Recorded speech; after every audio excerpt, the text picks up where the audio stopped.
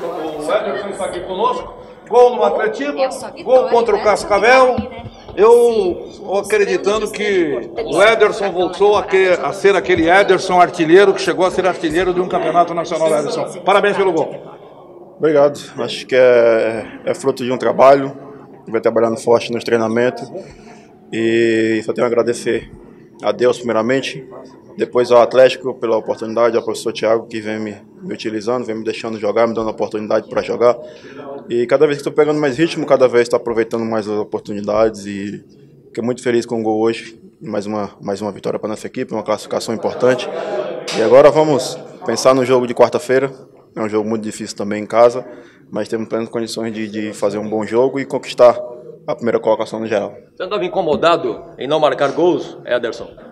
Acho que todo atacante tem, tem que fazer gol, quer fazer gol, né? E eu, eu não sou diferente.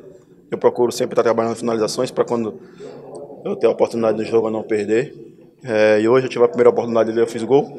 Eu tive outra oportunidade de cabeça que acabei errando, que tô, tô me lamentando bastante ainda por causa desse erro que não, que não poderia ter errado. Mas faz parte, eu me cobro bastante, eu quero sempre estar melhorando. E eu quero melhorar em prol do Atlético, eu quero ajudar o Atlético para recompensar por tudo que ele, o esforço que o Atlético fez para me trazer novamente, o salário que o Atlético me paga todo mês, então eu tenho que estar sempre preparado para ajudar a minha equipe. É um Atlético de 2018 com uma liberdade tática bem maior, né, Ederson? Até do que o clube estava acostumado e adotava de política até o ano passado. Isso também dá é, é mais liberdade para vocês poderem, quem sabe, executar e desenvolver um, um, futebol que vocês entendam que possa ser é, é de, de agrado do treinador? Com certeza, eu acho que isso já vem do nosso treinador. Ele já fala que para a gente jogar em liberdade, para todo mundo se movimentar bastante, para todo mundo, quem errar, não baixar a cabeça, já voltar. E um está ajudando o outro. É, independente de quem errar, o outro está procurando ajudar, está procurando, tá procurando recuperar a bola o mais rápido possível para que a gente possa ficar com mais tempo com a bola. Hoje foi um jogo mais difícil, hoje foi um jogo que a gente não conseguiu ficar tanto com a bola, mas nosso time soube segurar a pressão e soube fazer o gol e sair com a vitória, que foi muito importante. Nesses momentos decisivos, a experiência conta a ponto, Anderson? Olha, é... acredito que sim, mas com a ajuda do, do, dos mais novos também, a gente vem cada vez mais se encaixando mais. Acho que todo mundo está fazendo uma mescla muito boa, os experientes com os novos e, e, e vice-versa, né? Que os, os novos também vêm ajudando a gente bastante. Quando a gente não consegue acertar, eles vêm acerta por nós. Então, acho que está todo mundo de parabéns. Está o Atlético em si de parabéns pela campanha que vem fazendo. Acho que foi uma grande pré-temporada que nós vemos fazendo.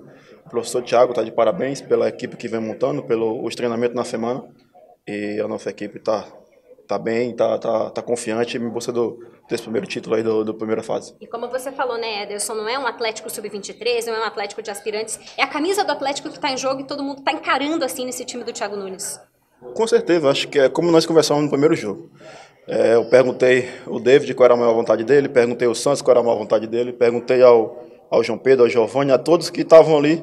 E a maior vontade era ter jogado mais ano passado. E nós teríamos essa oportunidade de jogar agora. Então, independente do time que entrar, nós íamos encarar com, com, com muita vontade, com, porque nós estamos representando o Atlético. Se nós perder, quem vai perder não é o Sub-23, não é o aspirante, não é ninguém, é o Atlético. Então nós temos que buscar a vitória sempre, a gente temos que, que buscar o jogo sempre, porque a nossa camisa é muito grande, o nosso time é, é um time grande. Você, em cima da sua resposta, deu a entender que a sequência de jogo é fundamental, não só para adquirir o ritmo, mas o entrosamento com os garotos. Com certeza, acho que para todo mundo, acho que para, para nós todos, quem está jogando é, o, é completamente diferente. O ritmo melhora porque é um ritmo de jogo não, não só treinamento, acho que quando a gente está tá jogando, todo mundo vem, vem tendo mais confiança, vem buscando mais confiança e o ritmo com certeza vai aumentando e vai dando cada vez mais confiança para os jogos e a gente vem melhorando a cada jogo.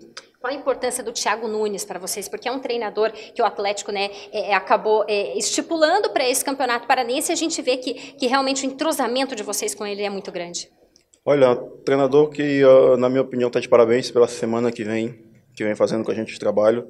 Depois de cada vitória, ele reúne e fala que, que a gente não pode acomodar nunca, porque quando a gente acomoda que fica ruim. Né? Então, tem que dar parabéns a ele pelo trabalho que vem fazendo. Eu acho que, que, que é o cara certo para hoje, para onde está. Merece essas vitórias, merece esses resultados e dá liberdade para todos os jogadores falarem, para todos os jogadores se exporem também. E ele está tá fazendo isso muito bem e o time está tá conseguindo ajudar ele com resultados e com muita vontade neste campo.